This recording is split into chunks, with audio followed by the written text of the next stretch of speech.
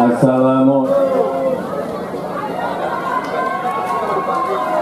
Assalamualaikum.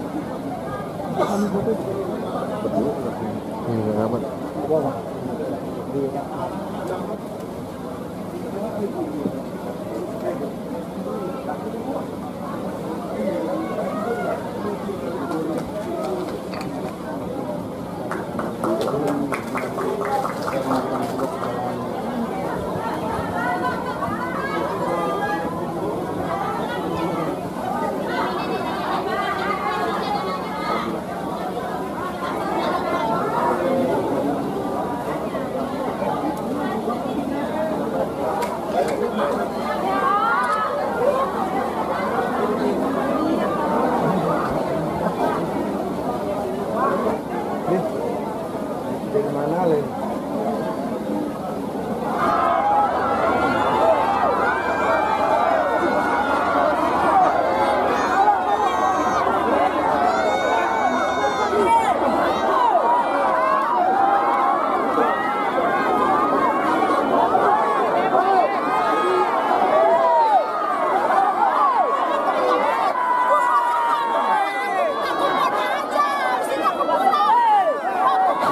Ya, tapi kita ini sulit loh ya. Kalau harga beras turun, saya itu dimarahin petani. Tapi kalau beras naik, dimarahin ibu-ibu. Benar nggak?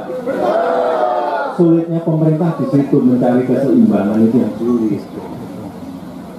Saya pas beras naik, saya main ke sawah, wah petani senang, terima kasih pak, terima kasih. Terima kasih. Begitu saya ke pasar ketemu ibu, Pak gimana nih harga beras Pak? Inilah yang namanya harga. Ya. Dan nah Pak Basuki, Pak Menteri PU, kemudian beliau Pak Gubernur Sumatera Utara, Pak Kepala Bulog, urusan beras saja beliau. Kalau ada beras kurang,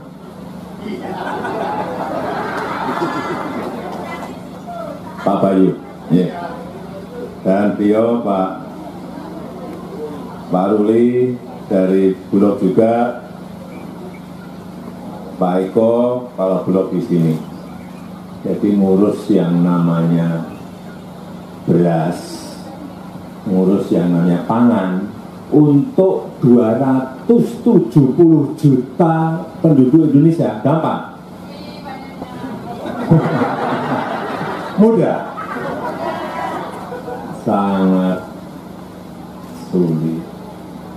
Harus menyediakan beras untuk 270 juta penduduk Indonesia.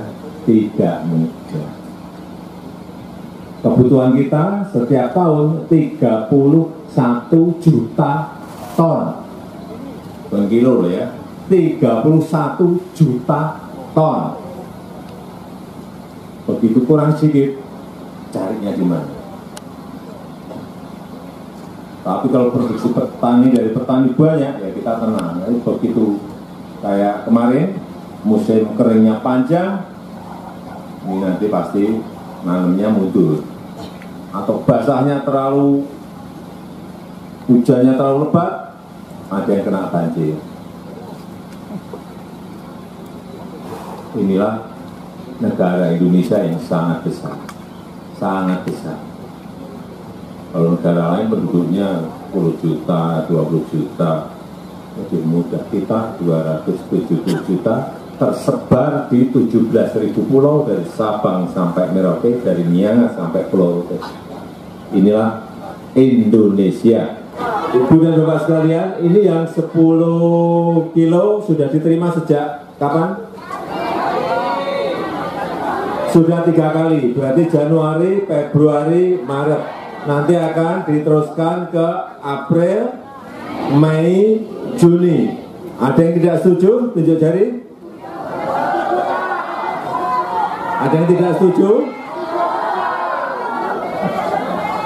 Nanti kalau APBN-nya memungkinkan akan di setelah Juni akan dilanjutkan. Tapi saya nggak janji, janjinya hanya sampai yang Juni. Nanti saya lihat tadi APBN kira-kira cukup diteruskan. Setuju ya? Yang tidak setuju tunjuk jari, silahkan, nggak apa-apa.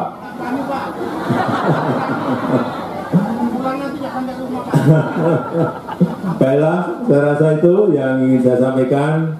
Terima kasih, saya tutup. Wassalamualaikum warahmatullahi wabarakatuh.